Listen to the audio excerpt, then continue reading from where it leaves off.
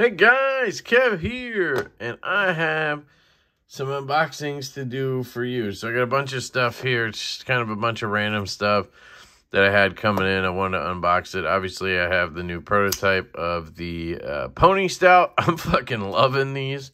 Um, man, they're really good. Uh, QSP killed the edge on this. I'm just impressed. Um, I also got this earlier. I didn't unbox it on camera, but this is the Compiform Allure series or V3. Um, this is the Labyrinth pattern. I actually had one of these before. It's kind of like a fingerprint pattern. And um, I just decided that I couldn't not have a good free-floating slider. I just need one, and I wanted a good one. I wanted the best one, and I decided to get another one of these. Um, the Modus Works Wrapped V2 is also phenomenal, and I did really love that.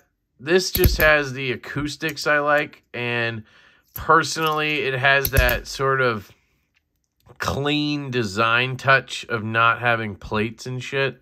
Um, it's welded together, and it has these cool um, laser-treated titanium plates that, I don't know, I, there's just something about Compiform's work that speaks to me and it's nothing against the Raptor Magnus. I just prefer this, and I only wanted one. So I copped one of these. It was 300 bucks, and it's a lot of money, but it's the only one I have slider-wise that's free-floating. You know, I have a couple of, um, you know, other sliders that are tracked, but I'm trying to sell this one, and then I just have a CP3. So really, hopefully, we'll only have this in the CP3 slider wise. And I sold a spinner today, so I'm kind of uh, toning the collection down. And I obviously just have a bunch of these NJT coins. I love those. But anyway, first things first, let's talk about this package. Uh, this is coming from Poppa Ryno.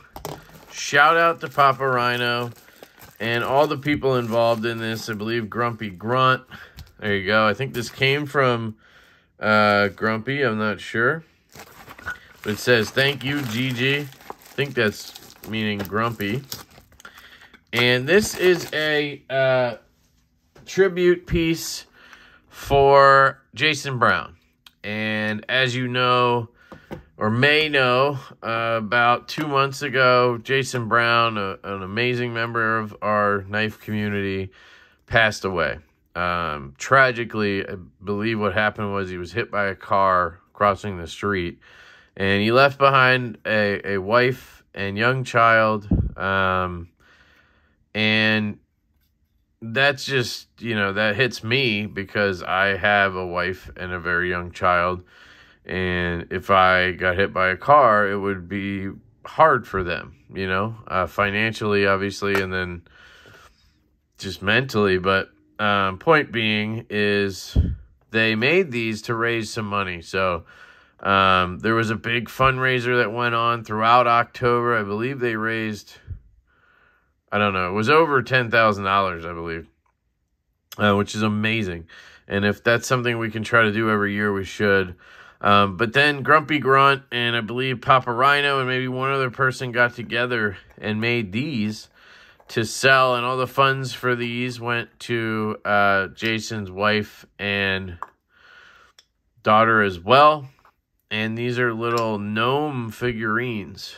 And you could get them pre-painted or just blank white and then you could paint it. I'm not artistic at all but there you go. It says jb choo choo 2022 and this is phenomenal work. It's got his little swiss army knife his backpack and it's got his spray can because he was all about tagging um, the little gnome, man, this looks cool. And it's got his headphones. Um, just, yeah, that speaks Jason Brown right there. I wasn't super close with Jason, but I did meet him at Blade Show once or twice. And obviously, he was in the live stream chats a lot. And um, I have heard nothing but just glowing things about him. And I want to support anything I can to help um, so I picked one of these up. I think it was 30 bucks. and um, the unpainted one might have been 20 or 25. I don't know if they're still available. There was 30 of them or something like that. Um, if they are, please pick one up. You can hit up Poppa Ryno on Instagram. I'll uh, put his info down below if I remember. If I don't, and somebody watching this can, please, please put his info in the comments and I'll pin it if I can.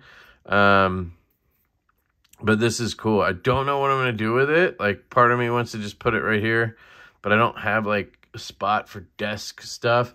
Another part of me thinks it'd be kind of cool to like maybe raffle this and then send the money to his family, but that's kind of like what already happened. Um, you know what would be cool? Just a tidbit if you guys watch this, Grump or Papa. Um, if you added a little nubbin and then uh, and then I could hang this off my Christmas tree right now, this would be on my Christmas tree. So I think I'm gonna try to find a way to do that. I'll talk to my wife and see if she she's the artsy one. Maybe she'll know a way that we can tie something on here and then hang this off the tree. I don't want to damage it, but there's got to be a way I can get around those headphones or put something on here. But that would be cool if it just had the little notch right here so you could slide the cord through and then you could hang it off the tree. Just a thought. But anyway, it's going back in here for right now. And uh, check it out. It comes in this uh, vinyl case, which is... Um, something he was really into. Look at that, even tightens down. 3D printing is amazing. Um, and just so you know, printing this case and that figurine, painting it, that takes a ton of time. I know how 3D printers work, and that is a lot of work. So thank you guys so much for that.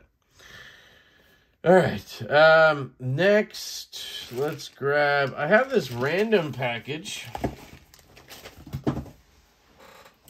from DLT Trading which is interesting because I haven't ordered from DLT.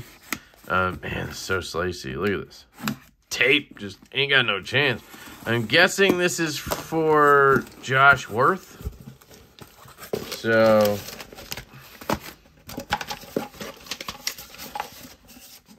Just a guess that Josh Worth picked something up and had it sent to me It's got my name, my address. It's a Spyderco Paramilitary 2 OD Green G10 S90V. Nice, dude. Yes, for uh, Josh. And he put a note in there. Please check blade centering. Let's see how they did.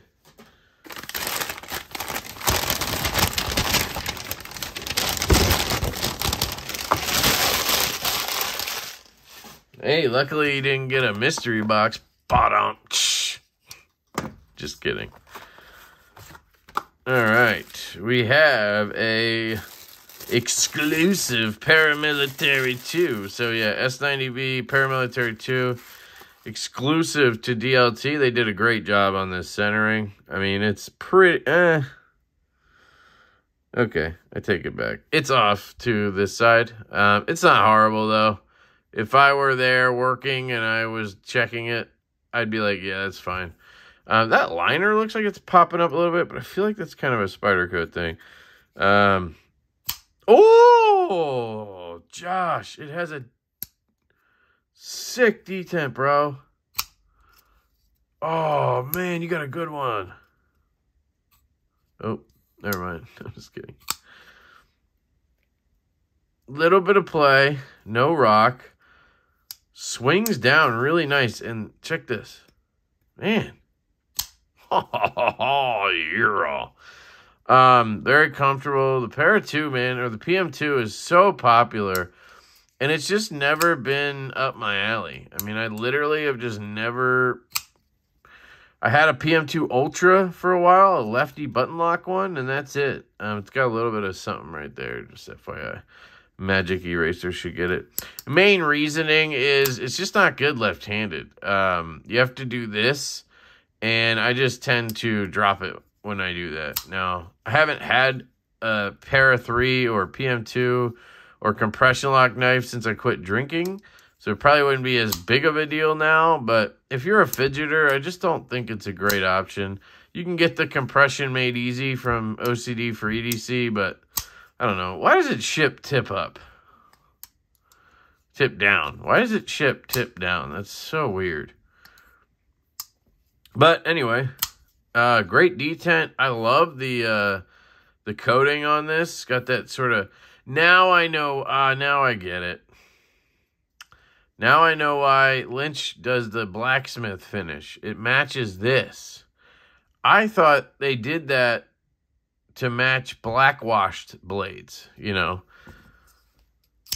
Something like this. But they do it to match this.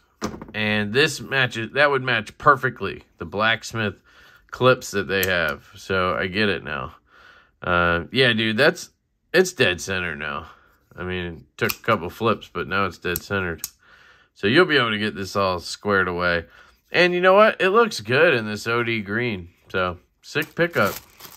140 bucks? Hell yeah. I think you done I think you done good, son. I think you done good. Let me put this in there.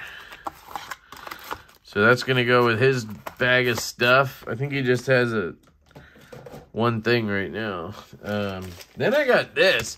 This is a um, a pouch. So I'm trying to, you know, test the pouch thing out. People always tell me how awesome the pouches are. I saw this. Uh, shout out to Everyday City Carry, Ray. I was watching his live, or I forget when it was, but he went on this website and uh, he was looking at like a, a sling bag or something, and it looked cool. And I just ended up on the website, and I saw this small EDC pouch. There you go. And I got the Velcro one, obviously, so you have this right here. So now I finally have something to put my uh, Jackwolf patch on. So I have a couple that I want to transfer over to this, but I've been waiting to get this guy on something. So we can take this guy and put it on. And then we have, hang on. I have an, one extra dead nuts one, but I'm going to take it from, I have this pouch that I haven't been carrying at all. So let me just see the best way to line these up. Most, a lot of these are glow ones, which is cool. Um, I have a everyday minimalist patch right here too. And then I should have room. I'm gonna drop. Okay, this is what we're gonna do. Thought I had another one of those, so just bear with me, guys. We're gonna get this shit done. Slide that up a little bit. What's that layout? Should, what should that layout look like? Put the black ones next to each other and then like this.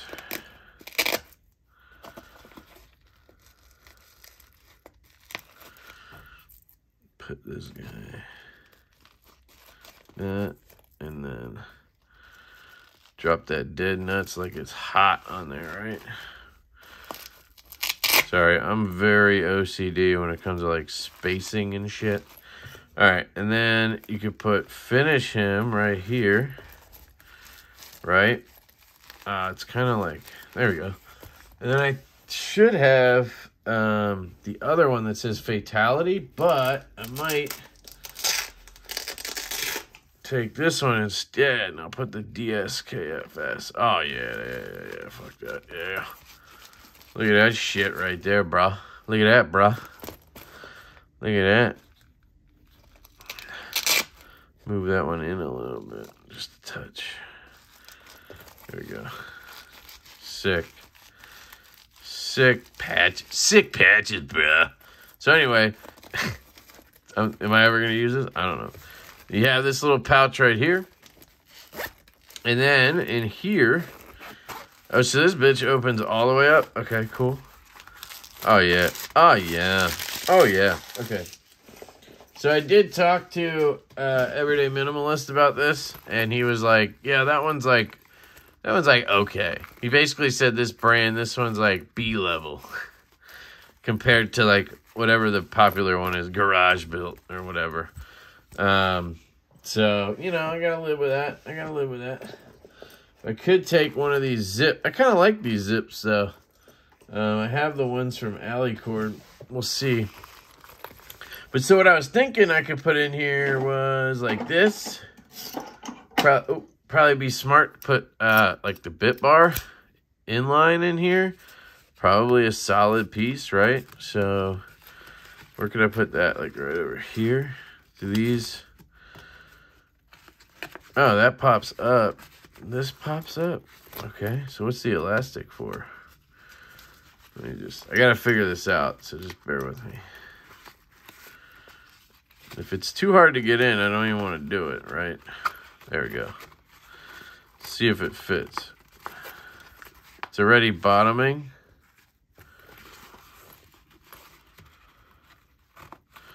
Alright. I mean, it clips, so it's not going anywhere. And then I was thinking I could put a pen in there, right? So let's say this one. That seems too tall. Um, hold on. Bear with me.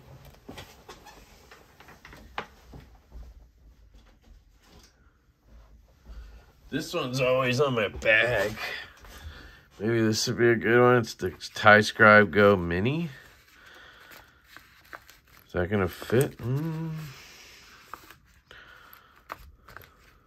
Doesn't fit. What about here? Bottom out already? We bottomed out, bro? Shit. Well, that's that's kind of dumb. It's too small to fit a fucking pen. I gotta... Well, that's in there, right? The only other one I have is... It's a little crazy to put this in there, but let's see. Sorry, I was not ready for this. Saga. Oh, we might have a winner here. Let's see.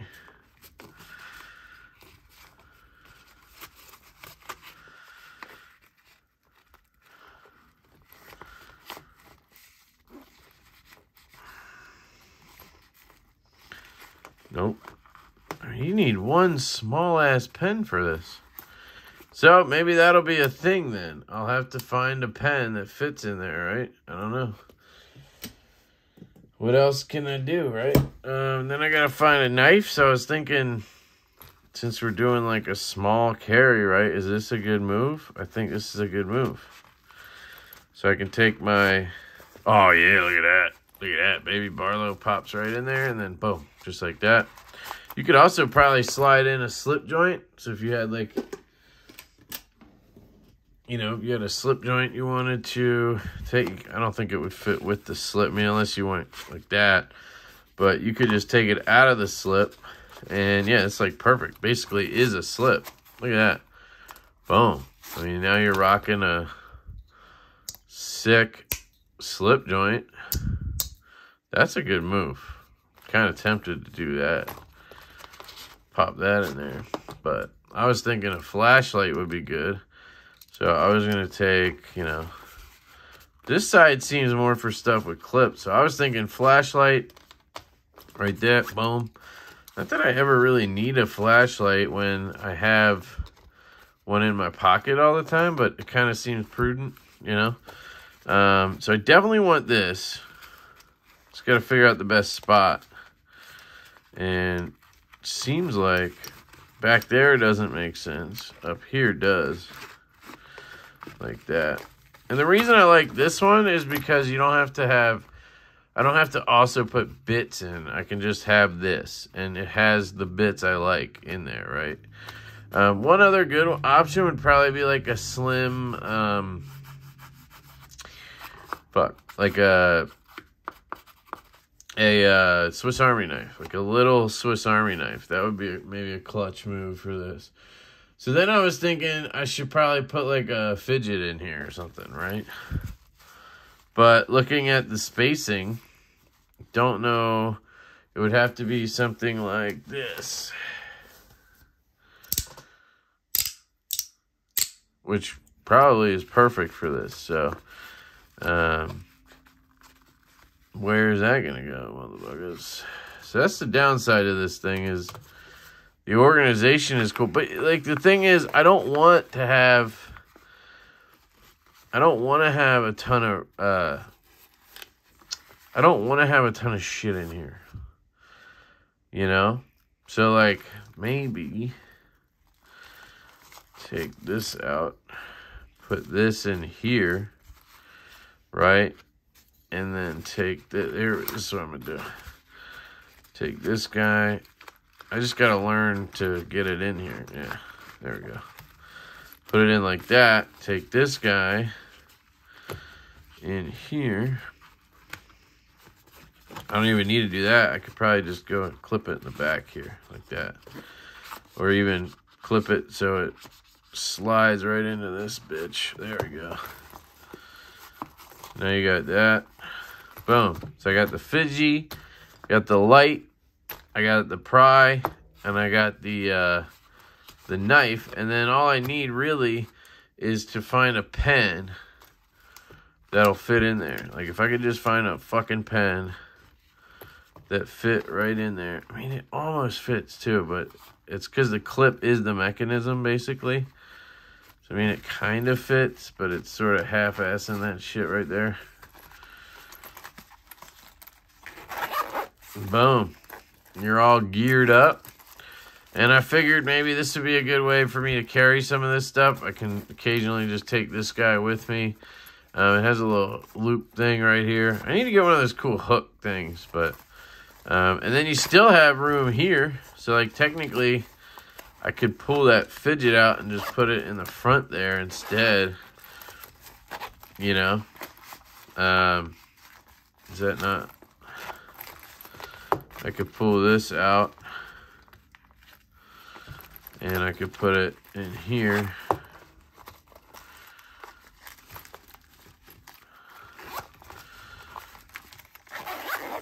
And rock it that way. And that way I don't have to do a bunch to get to it. I can just open it whenever I want to fidgy fidgy. But honestly, what I was thinking was this. So watch take this guy, put this guy in here. Oops. That guy back in there. I mean, this is kind of going to work, right? I mean, the pen's in there. It's just, it's definitely open down at the bottom right now. You can see that the mechanism's kind of deployed. Um, but what I was thinking was, I have a Phillips, a flathead, and I believe a T8 in that um, in that bit bar inline. So then, if I take a T6 and I take a T10, T10, that covers like almost all my knives. I mean, the only things I'm missing are a 15 and a 20, maybe like what I don't know what I would have. I don't have a Rosie anymore, so that covers like 90% of my knives. And now I have everything in here. Um, it does feel a little bit bulky. That's why I just don't love these pouches because you want to put shit in them and then they feel so thick. And it's like, I think it's probably this thing. Let me just see.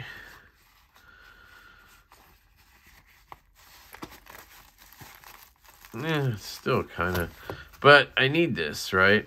Like, unless, unless I took something like this instead, just a basic bitch driver. I mean, but then I got to take the Phillips or the flathead out. I could put one in here. Um, and this won't even fit anyway, probably. Maybe if I took the bit out, it would fit. Just fit, but I prefer the inline. So I'm not gonna take this out. So slide that in. I wonder if I don't, maybe I don't need the clip. I can just do that. Maybe it fits a little bit cleaner that way. What about the pen? Does that fit cleaner if I don't fuck with the clip? Yeah. Just doesn't work well. I just need a smaller pen. That's bottom line. But it's hard to find a Parker refill pen that's small. This feels good. This feels like a good size. And it has pretty much everything I would need in it. Um, so basically what I can do is leave the house. You know, I don't have to worry about like, cause every day I get dressed and then I'm like, I gotta put a fidget in my pocket, my flashlight in my pocket. This is in my pocket. This is in my pocket. Okay, I have everything. Yeah, I got everything. This would just be like, all right, I don't, I can just grab this on the way out the door. I would never have to think like, do I have everything? You know, uh, and if I do, I just got a backup of everything. Plus, it was just cool to get one and try it. I think it was like 30 bucks or 20 bucks with the, the Black Friday discount. And it looks cool. And uh, yeah, I'm digging it. So maybe just ever so slightly bigger, but then I would be bitching about how big it is. Because like the other ones I have seem too big. So anyway, that is my Alpaka. It's A L P A K A, um, AKA, um, hub gear, whatever, patch, uh, pouch. So, anyway, sorry, that was a long one. We got more. Um, I'm to do this separately because it deserves it. So, this last one is from a local guy named Mike. And I bought a another another chickadee. believe it or not.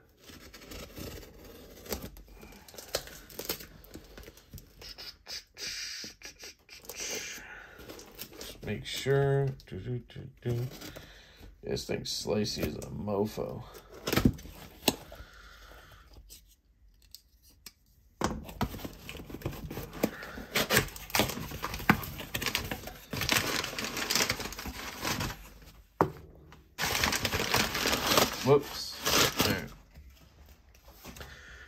Okay, so this is another chickadee. This is the root beer float version. This is the one I kind of wanted from the beginning.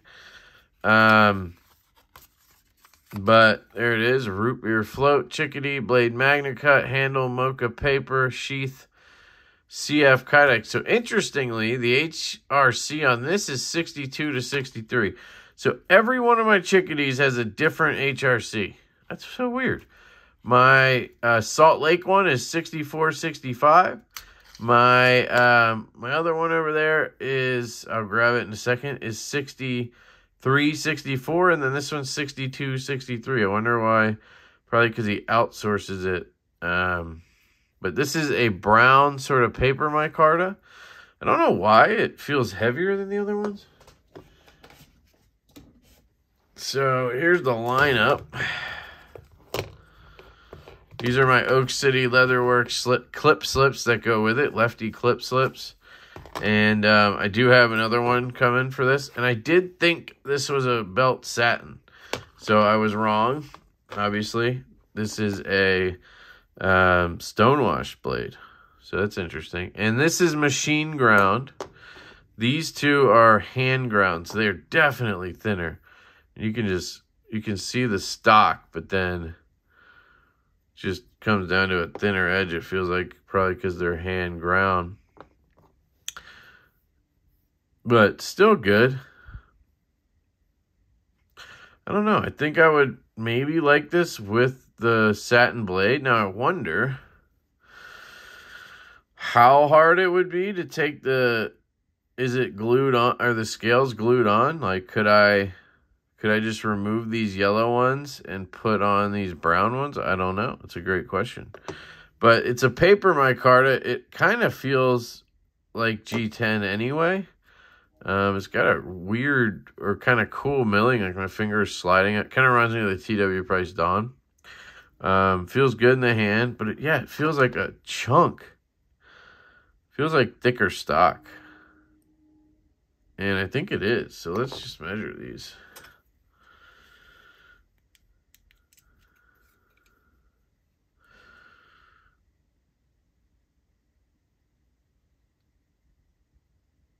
Point one two seven.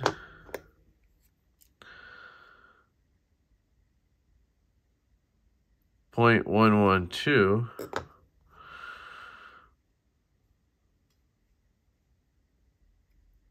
0.107. Interesting. So the stock can be different on all of them? I guess it just depends on... Yeah, you can kind of see it. You can kind of see it, that they're all... They're all uh, different. They get thinner from left to right. See if I can show you. Line it up. I don't know if you can see it, but thick, thinner, thinnest. Kind of cool. So, I don't know. I do like the look of this overall with the stonewash, though. Would it look cool with the satin? I don't know. Hard to tell. Yeah, I think it would look cool with the satin. And would this one look cool with the stonewash? Hmm. It wouldn't look bad. But they look good as is as well. So, see if it cuts. Uh, pretty sure it's like brand new. Said he'd never used it. He bought it and then he kind of changed his mind. So, yeah, you can hear it pretty thick through the paper. Is there a chip? Doesn't feel like it. Let me just. This one I've used, I think, the most.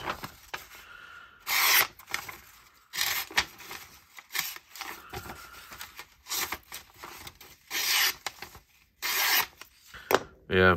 So I was thinking about sending these out to get sharpened. Uh, so that was my idea.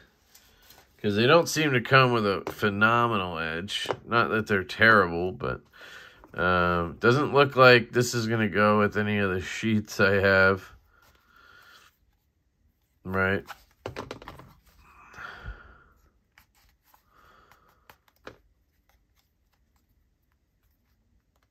I don't want to even push that further because it doesn't look right anyway.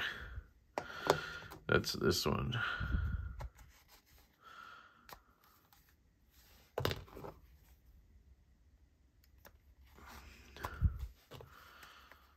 And somebody asked me recently, why does it stick out so much? Um, because some people have them and they bury it in there, right? And you just have this nub sticking out, which is cool. It probably looks better, probably conceals better, but it's got to be hard to get out of the sheath, right? Because this is pretty, like, I have to, I have to pull pretty hard on it.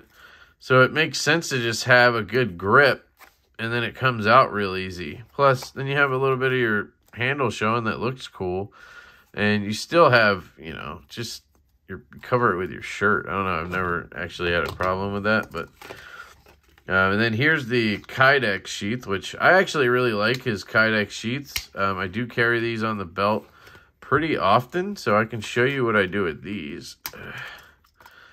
Take that off. I find that HRC thing kind of interesting. Um, grab the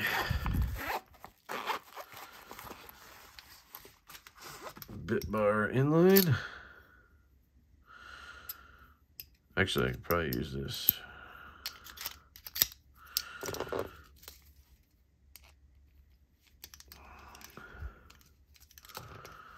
So I just gotta get it flipped over.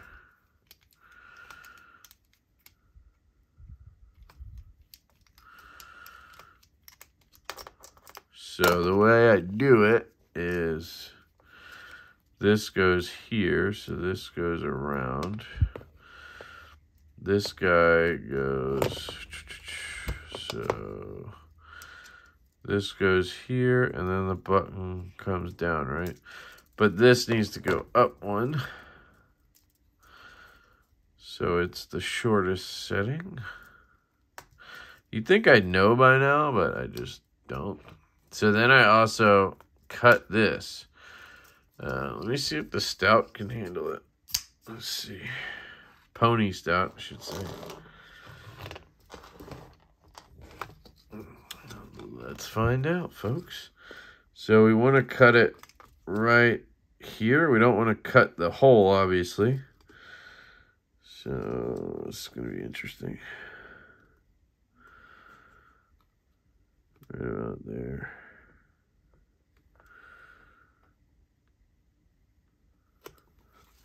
I don't want to fuck up the... I just want to get a spot so I know kind of where I'm cutting.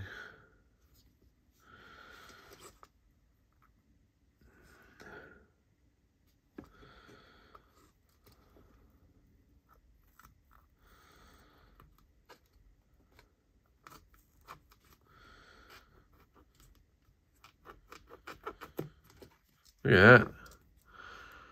I, mean, I don't know how good that is or whatever, but hang on. Sure, a bunch of you guys are just rolling your eyes. Uh,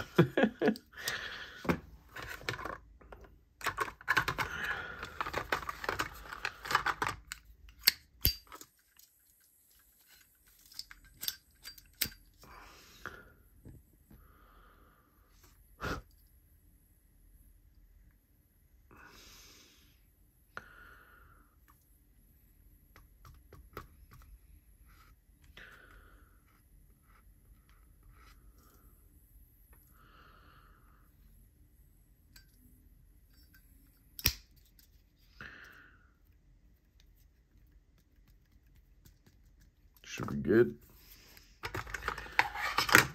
Now, as long as I didn't mess up and put it in the wrong place, should be good. So, now this goes here. This guy goes to be clicked on, right? So this has to go through here. I think I left enough room. It's close. It's kind of might have been kind of close there, Kev, but should be good. You can buy this stuff, I think, on Amazon real cheap, so not the end of the world if I fucked it up, but I definitely cut that way shorter than I cut the other ones. The other ones, I left the button on when I cut it. So, there's a big difference. So, that was dumb. I'll admit it. But hopefully it doesn't bite me in the ass here.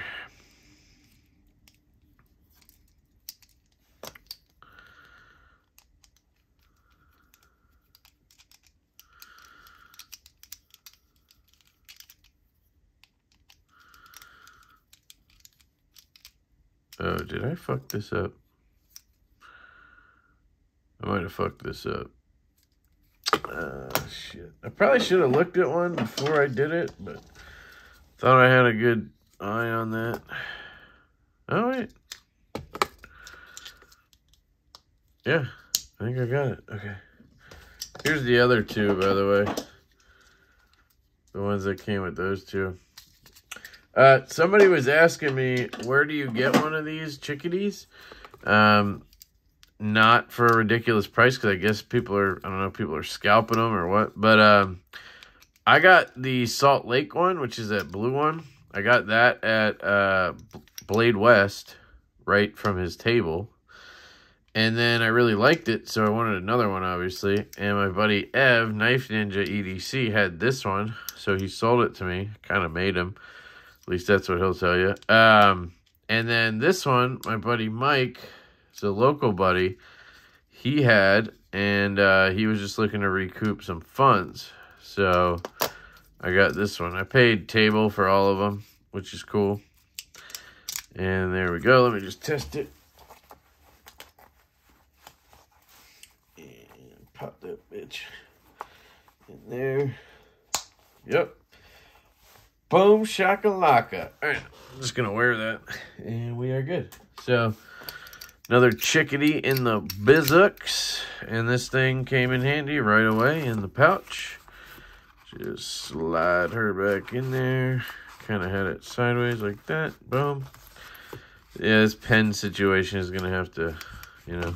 I have one on my keys too, but it'd be cool to have a decent one in there, you know.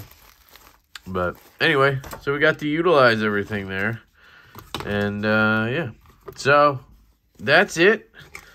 Um, everything's out of the box. Talked about everything. And uh, yeah, thank you guys for checking out a bunch of random stuff that I unboxed.